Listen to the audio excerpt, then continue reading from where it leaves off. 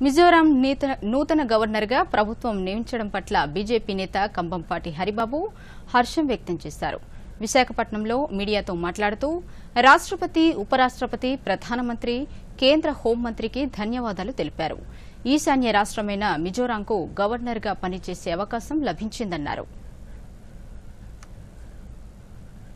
నియమించినందుకు భారత రాష్ట్రపతి రామ్నాథ్ కోవింద్ గారికి భారత ఉపరాష్ట్రపతి వెంకయ్యనాయుడు గారికి ప్రధానమంత్రి నరేంద్ర మోడీ గారికి హోంశాఖ మార్చులు అమిత్ షా గారికి నేను హృదయపూర్వక ధన్యవాదాలు తెలియజేస్తున్నాను.